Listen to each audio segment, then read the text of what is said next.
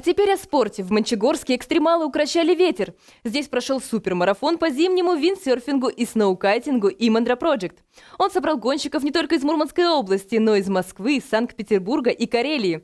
Участники преодолели 50 километров по снежному покрову озера Имандра. Как это было, смотрите в сюжете.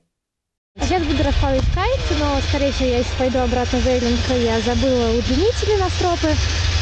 Мария Рыженкова в парусном спорте чуть ли не с рождения. В пять лет дедушка дал в руки кайт, с тех пор его практически не выпускает. А в последние годы девушка скользит по снежному ковру и ловит попутный ветер уже на профессиональном уровне. Я очень сильно отвлекаюсь от э, повседневной жизни, от учебы благодаря кайту. Вообще не могу представить свою жизнь без э, этого паруса. Вообще ветер – это просто сказка.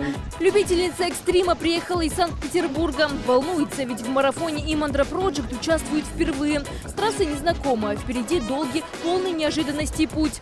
Маршрут оказался непростым, в том числе и из-за капризов погоды. Ветер периодически пропадал, местами на льду встречалась вода. В результате укротить ветер и пройти всю дистанцию удалось только двум участникам. Первым стал Сергей Возняк из Кировска. То, что было в прошлом году, вот круче уже не бывает. Нет, этот год вот переплюнул все.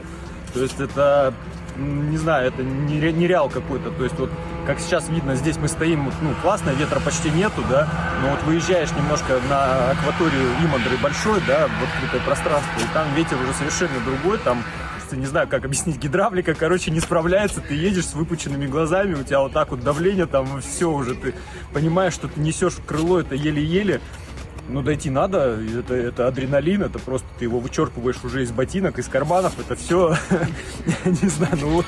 Организовать Имандра Project помогла компания Норникель.